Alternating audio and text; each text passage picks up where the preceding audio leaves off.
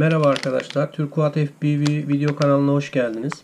Ee, bugün sizinle TBS'in bir ürünü olan TBS Unify Pro 32 HV e, modelini tanıtacağım. Bu bir VTX. Bu VTX'i size tanıtacağım bugün. Ürünü açalım öncelikle.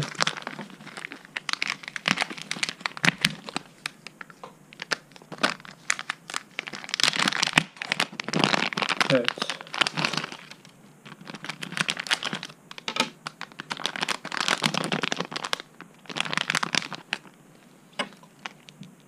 Evet, VTX'imiz bu şekilde. Yeterince ufak özelliklerine göre. İçerisinden silikon kablolarımız çıkıyor. Bir adet soket ve silikon kablolar. Yanında ayrıca bir konvektör, MMCX giriş, çıkışı da antenler için SMA şeklinde. VTX üzerinde bir tane buton mevcut. İki adet kırmızı ve mavi olan iki tane led var. Bu led ile e, menüler arasında gezebiliyoruz. Bir USB girişimiz var. Bu girişle de bağlantı sağlayarak bilgisayar üzerinden güncellemeleri ve ayarları yapabiliyoruz. Öncelikle yeni başlayanlar için VTX nedir? Bundan biraz bahsedelim. VTX bizim e, kuatlarımızda yani kendi ürettiğimiz bu yarış dronlarında kullanılan video vericisidir. Yani e, bu VTX'i kuat üzerine takıyoruz. Kuat'ın FPV kamerasından aldığı görüntüyü anten aracılığıyla bizim FPV gözlüklerimize iletiyor. E, gözlüklerimizdeki alıcı da bunu ekrana yansıtıyor ve biz anlık olarak e, bu verici sayesinde anlık olarak e, FPV kamerasının önünden görüntü alabiliyoruz. Yani görebiliyoruz. Yani görerek uçuyoruz. E, bu işe yarıyor bu VTX'imiz. E, bu VTX analog sistemlerin en başarılı VTX'i yani TBS'in ürettiği bir ürün. E, TBS de zaten bu sektörde kendini ispatlamış bir ekip diyeyim. Ürünleri gerçekten çok kaliteli. Tabii ki de bu kaliteye göre de pahalı.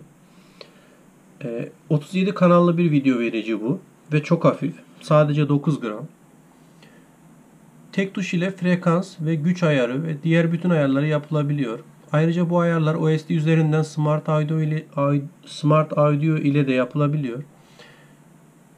Bu VTX'imizde voltaj dalgalanmaları için çift gürültü yani parazitlenme önleyici mevcut, filtreleme mevcut. E, bu gerçekten e, çok faydalı bir şey bizim için. Çünkü biz e, anlık yüksek voltaj çeken e, cihazları uçuruyoruz. E, bu da çok yüksek seviyede e, dalgalanma oluyor. Görüntümüzde parazitlenme yapıyor. E, bu diğer ürünlere göre çift e, çift filtreleme yapıyormuş. E, o yüzden daha başarılı. Henüz test etmedim ama videolarını izlediğimde testlerde gerçekten e, başarılı olduğunu gördüm. Ee, ısı dağılımı çok başarılı ve ısı üst sınır seçenekleri var. Sınıra ulaştığında otomatik olarak güç çıkışını düşürüyor. Ee, yani kendinden kaynaklı mesela arm ettiniz uçmuyorsunuz. Herhangi bir rüzgar almıyor. Veya güneşin altında daha da bir e, ısısı yükseliyor. Ee, yüksek seviyelere ulaştığında kendi içerisinde belli e, sınırlar var. kendiniz ayarlıyorsunuz bunu ayarlarında. Bu sınırlara ulaştığında otomatik olarak güç çıkışını düş, e, güç çıkış miliwattını düşürüyor ve bu şekilde ısıyı e, önlemeye çalışıyor. Şurada bulunan USB üzerinden bağlantı ile e, güncellemeleri ve ayarları yapabiliyorsunuz. 6 volt ve 36 volt arasında giriş gerilimine sahip ama direkt pilden güç vermenizi tavsiye etmem. Sağlıklı değil. FC üzerinden sürekli sabit bir akım alabilirsiniz. Ayrıca VTX'iniz üzerinde 5 volt 2 amper bir çıkış mevcut. Bu çıkışın bir özelliği var. FPV kameranıza gücü buradan vermeniz öneriliyor. Bu çıkıştaki güçte iki kere filtreleniyor. Yani paraziti azaltıyormuş. O yüzden e, kameranızın 5 volt girişini bu çıkıştan almanız öneriliyor. 25, 100, 400 ve 1000 mW güç çıkışı verebiliyor bu VTX. Uçuş özelliklerinize göre güç seçeneğini seçmeniz önemli. E, ona göre pilinizden güç tüketiyor çünkü. Mesafeye gelecek olursak da çok yönlü bir antenle 6 kilometre menzil e, yönlü bir anten ile de 80 kilometre menzili olduğu iddia edilmiş. Ama tabii ki bu rakamları çevre faktörleri çok değişken hale getirir. YouTube'da testleri mevcut. Gerçekten e, bu rakamlara yaklaşanlar var.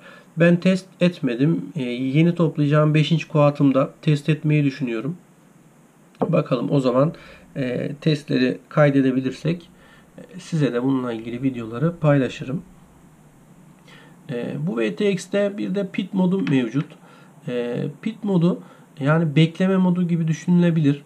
E, örneğin cihazı çalıştırdınız uçmayacaksınız. Farklı bir ayarlama yapmak için çalıştırdınız veya test ediyorsunuz çalıştırdınız.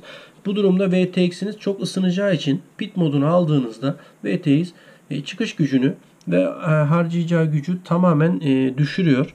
Bu şekilde ısınmayı önlüyor ve aynı zamanda da yarışlarda da tabii ki bu işe yarıyor. Sizin VTX'inizi açtığınızda bu görüntü vericisi etrafa tabii ki de parazit yayacak. Bu paraziti de en minimuma düşürmek için bu pit modu kullanılıyor.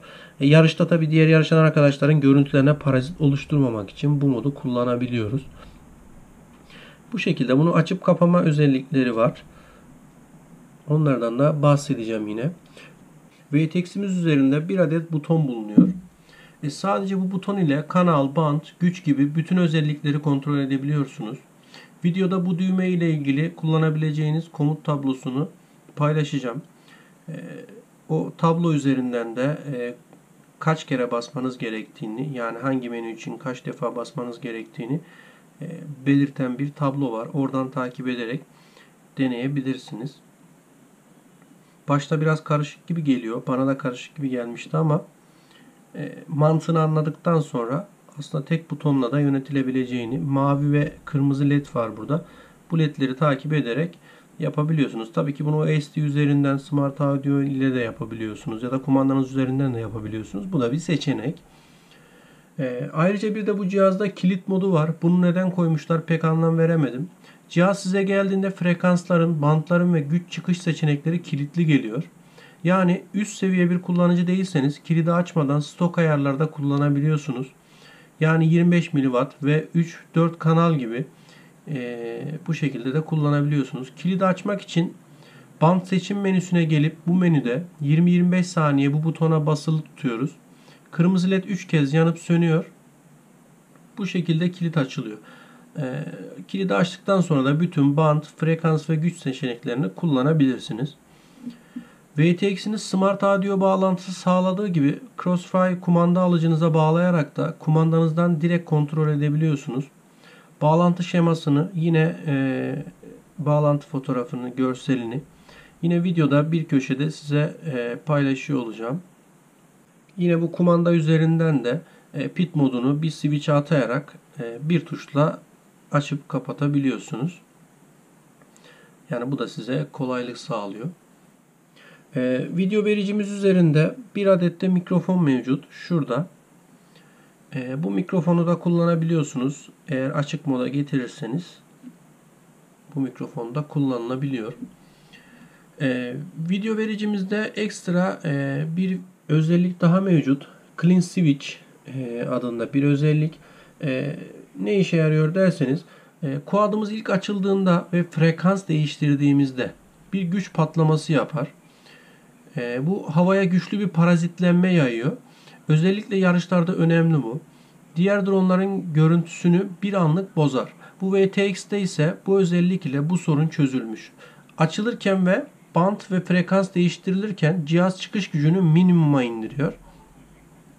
Yani bu sayede de e, gücünüz minimuma indiğinde direkt yarışan diğer yarışan arkadaşlarınız ya da sizinle birlikte freestyle uçan arkadaşlarınızın e, görüntüsünde anlık bir gitme ya da parazitlenme olarak onların e, panik yapmasını önlemiş oluyorsunuz. Yani daha çok yarışlarda faydalı olabilecek bir özellik. Video vericimizin bir de e, ön yükleme modunda e, çalıştırmak için bir seçeneği var. E, şurada görmüş olduğunuz, bilmiyorum tam olarak görünüyor ama şu şekilde göstereyim. Şurada görmüş olduğunuz petler üzerinden yapılan bir işlem. Bunun da e, görselini yine video üzerinde e, detaylı bir şekilde göstereceğim size. Buradaki iki tane e, pedi birbirine köprü şeklinde bağladığınızda Ve e, VTX'e güç verdiğinizde cihaz e, kendisine format atarak e, sıfırdan başlatıyor. Yani bu çok kullanılan bir şey değil. Ön yükleme yaparak açılıyor cihaz.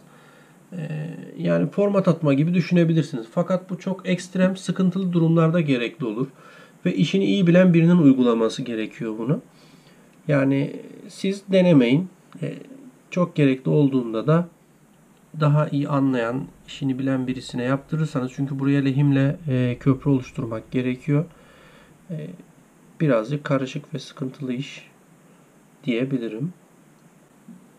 Evet, TBS Unify Pro 32 HV modelinin tanıtımı bu şekilde. Bu VTX'imizin tanıtımı bu şekilde.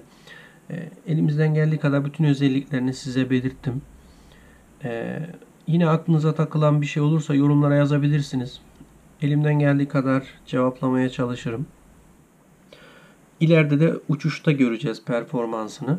Ama ben gerçekten kaliteli bir ürün olduğunu düşünüyorum. Zaten TBS'in ürettiği bir ürün olduğu için şu anda analog sistemlerinin en iyi VTX'i diyebilirim.